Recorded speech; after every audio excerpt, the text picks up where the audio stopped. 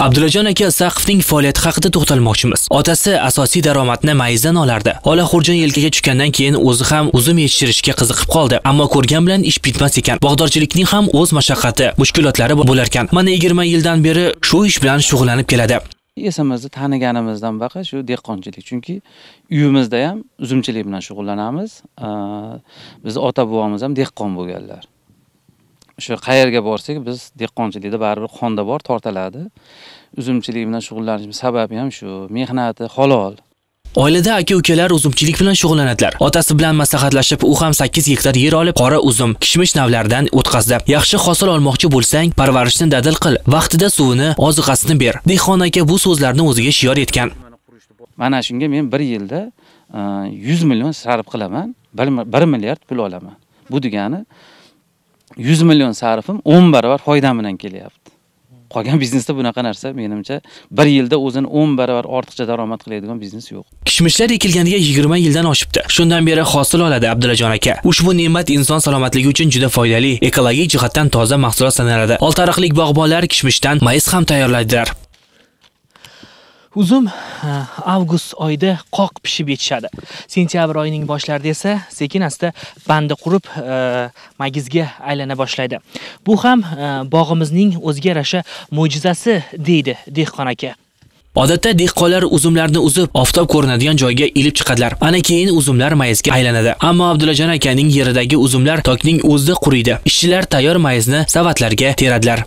Shunaqa tabiatdan qururkanda buni olib biz oftobga quritmaymiz boshqa qilmaymiz. O'zini ustida qurib ash holatga kelyapti.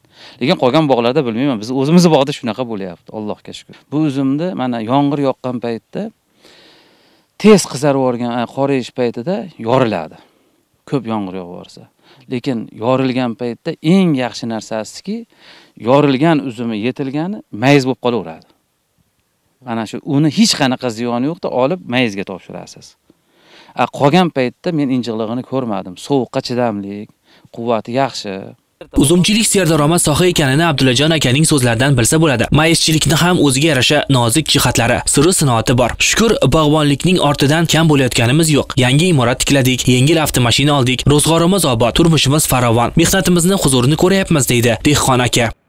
Imkon qadar har yili to'rtta yo uchta o'sha imkoniyat cheklangan otasi boquvchisini yo'qotgan odamlarga uy qurib beryapman shu tushgan daromaddan shunaqa qilyapman hozir. Mayizlar tabiiyligi bilan boshqa mamlakatning mayizlaridan ajralib turadi. Hech qanday kimyoviy dorilar qo'shilmaydi. U o'zimizning tabiiy oftobda quritiladi. Shu sababli bu mayizlarga qo'shni mamlakatlardan qiziqishlar juda yuqori. Ammo bu mayizlarga o'zimizning ichki bozorda ham talab yaxshigina.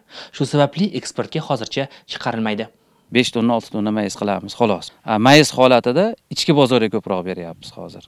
Mana qo'qon boshqaga ko'proq olib ketishadi ichki bozor bilan shu. Yer bilan tilashadigan hamda ota kasbini davom ettirgan odam xor bo'lmaydi. Negaki yer beminnat boylik ulkan sarmoya bitmas tuganmas xazina. Yer boqsang yer seni boqadi degani shuda. Ahror ziyodov zafar ismoilov zamon informatsion dasturi uchun farg'onadan.